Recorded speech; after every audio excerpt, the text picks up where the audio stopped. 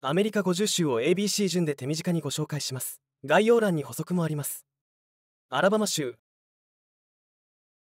アラバマ州は南部の象徴的な州です。南北戦争時には首都が置かれていたこともあるし近年ではキング牧師が公民権運動をした州です。名物料理はフライドグリーントマトでバーベキューも絶品。宇宙関連産業がありアメリカ最初の宇宙船を開発もアラバマ州で行われました。アラスカ州。アメリカ最大の州で広大な自然。野生動物オーロラが魅力です。夏には太陽が沈まず冬には逆に昼がない地域もあります。アメリカ最北端最西端最東端があります。最北端最西端は想像しやすいですが最東端はあくまでも軽度での話。アリゾナ州グランドキャニオンやセドナの赤い岩が印象的。また幻想的なアンテロープキャニオンも有名。砂漠のオアシスであるフェニックスは第2のシリコンバレーを目指している町の一つ。全米最大のネイティブアメリカン居留地がある。アーカンソー州。全米で唯一のダイヤモンド鉱山がある州です。クリントン元大統領はアーカンソー州知事でした。ホットスプリングス国立公園は温泉で有名です。豊かな自然を持ちオザーク山脈やバッファロー国立河川でアウトドアを楽しむことができます。カリフォルニア州。映画産業で有名なハリウッド。美しい海。ヨセミテ国立公園が魅力。シリコンバレーは IT の中心地でスタートアップ企業が多く集まる。またナパバレーのワインも有名で中にはフランス。ボルドーの五大シャトー並みに高価なワインもあります。アメリカで一番人口の多い州でもあります。コロラド州。ロッキー山脈が広がりスキーやハイキングが人気。デンバーはアートシーンが盛んでビール好きには天国のような場所。マイルハイシティとも呼ばれるデンバーは海抜 1600m フレーザーのウィンターパーク駅は海抜 2609m でアムトラックの駅としては米国で最も高い場所にあります。コネチカット州。成田悠介氏が助教授を務める歴史あるイェール大学や美しい海岸線が魅力。ハンバーガー発祥の地を主張しています。グリニッチはコネチカット州の最南端かつ最西端にありニューヨーク市マンハッタンのグランドセントラル駅から急行列車で38分強の位置にあり富裕層の家やヘッジファンドがあります。デラウェア州。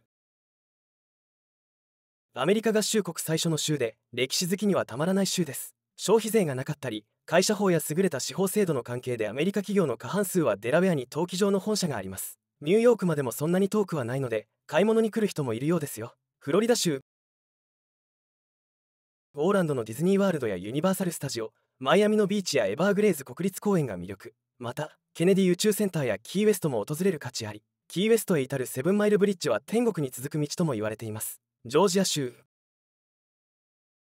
コカ・コーラ発祥の地でコカ・コーラ社があります。内陸の州というイメージがありますがサバンナという港湾都市もあります。サバンナはジェームス・オグルソープが理想郷として設計し当時南部では当たり前だった奴隷の所有も禁止して作り上げました。現在でもサバンナの街並みの美しさは全米一とも言われていてチャールストンと並びサバンナはハネムーン先として人気があります。ハワイ州。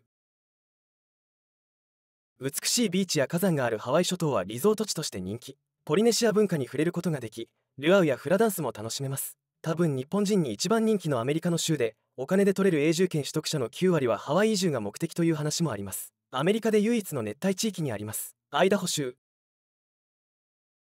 自然豊かでサンバレーはアメリカ初のスキーリゾート地でオリンピック公式トレーニング地になっています。クレーター・オブ・ザ・ムーン国立保護区は見渡す限り火山岩が広がり日本ではなかなか見られない絶景。また全米で最も多くの温泉がある州です。アイダホといえばジャガイモ。イリノイ州。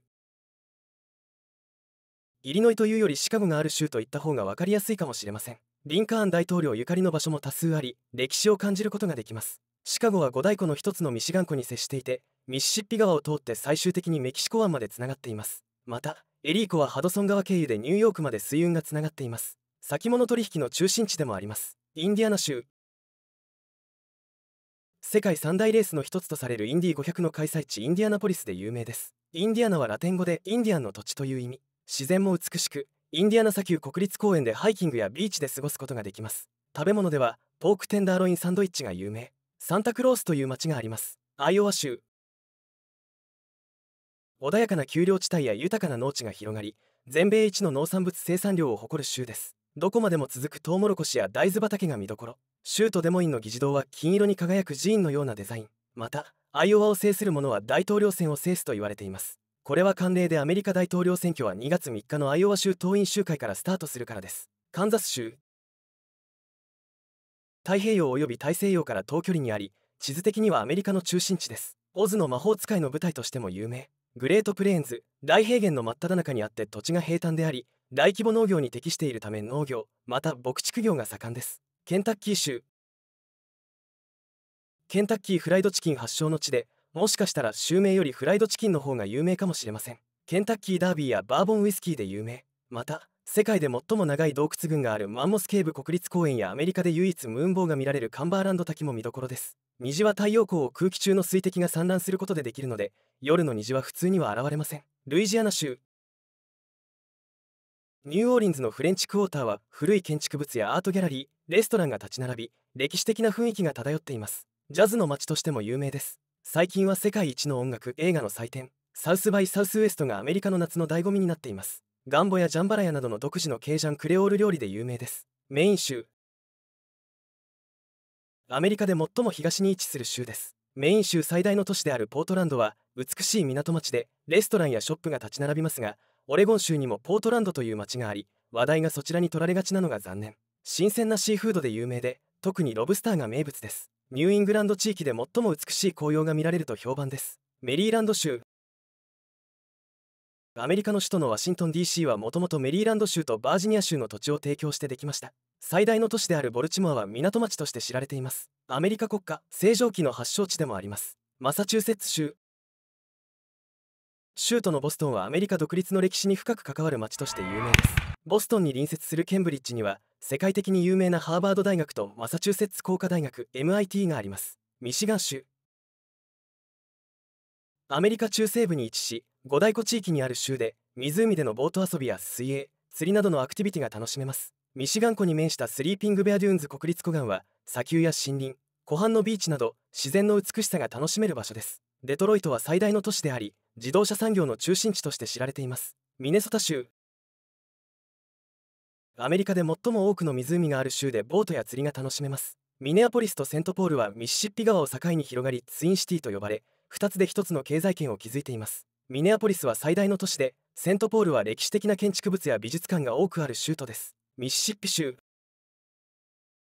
アメリカ南部に位置し豊かな文化と歴史が特徴の州です。ブルース音楽の発祥地でもあります。州名にもなっているミシシッピ川が有名でミシシッピ川に面したナチェズは南部の魅力的な街並みが残っています。アンテベラムマナーという南北戦争前の大邸宅が多く歴史的な建築物を楽しむことができます。ミズーリ州。